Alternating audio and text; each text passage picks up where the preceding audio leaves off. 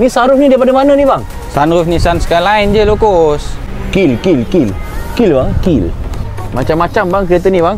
Jom. Kita tengok enjin dia pula jom. Kill. Untuk Myvi kali ni memang menggunakan enjin yang asal. Kalau kereta ni gunakan enjin yang asal, tak apa, dah senang. Tak payah review. Sebab apa? Semua orang tahu enjin dia. Spek dia macam mana.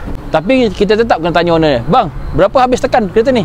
Tak laju pun Lokos. Santai je 17 tak goyang. Uish. Kill. Budak-budak Myvi 17 tak goyang. Dan inilah bunyinya.